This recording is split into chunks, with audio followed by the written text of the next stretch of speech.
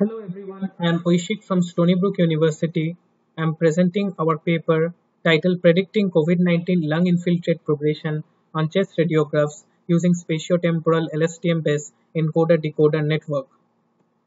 Existing machine learning-based COVID-19 studies primarily utilize single time point chest X-rays for a variety of tasks such as differentiating from viral pneumonia or outcome prediction. The previous approaches can be broadly grouped into two types. The first one is a radiomic approach, where radiomic features are extracted from lung segmentations followed by training a machine learning model to predict the COVID-19 outcome.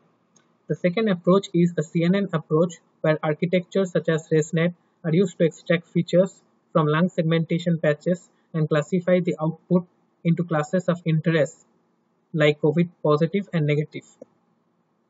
However, the temporal progression of COVID-19 infiltration is understudied.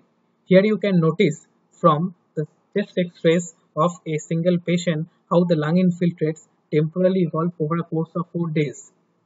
On the first day, there is presence of ground glass opacities on the two lung lobes, which becomes denser on the second day. On the third day, the disease burden has increased to extensive lung consolidations. Finally, on the fourth day, the findings are similar as to that on the day 1. We know that LSTMs have been previously used in conjunction with serial medical imaging to capture the temporal evolution of such disease severity in cases like ophthalmic disease and lung cancer. The aim of our work is to predict the chest x-ray severity scores at a future time point so that the physicians can be aware how and when the disease progresses and plan the clinical treatment accordingly. Here we present our framework. Firstly, the patches are extracted from the lung segmentations of the input chest X-ray, which are available from different time points. When we are dealing with a particular lung zone, for example, L1, which is the left lung upper zone, we also include the patches from the boundaries of the neighboring zones like R1, the right lung upper, and L2, which is the left lung middle zone. These patches along with the disease severity scores are used as input to the two-stage encoder network. The first stage is a patch CNN LSTM block where CNN is used to extract features from patches and to eventually feed them into the each time step of LSTM1 called LSTM spatial.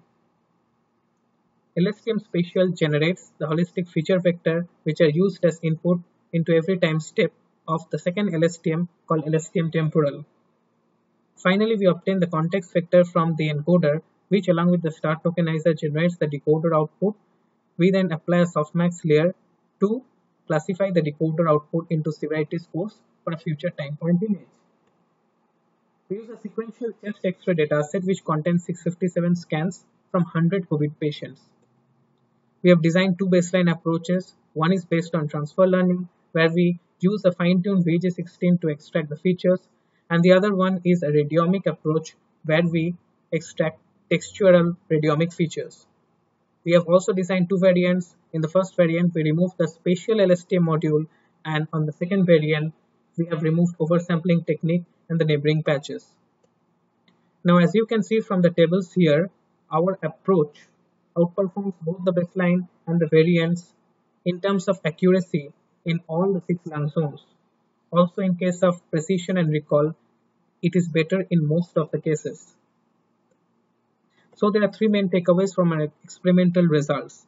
We are the first to use a temporal COVID-19 dataset which can be used for imaging progression and severity prediction.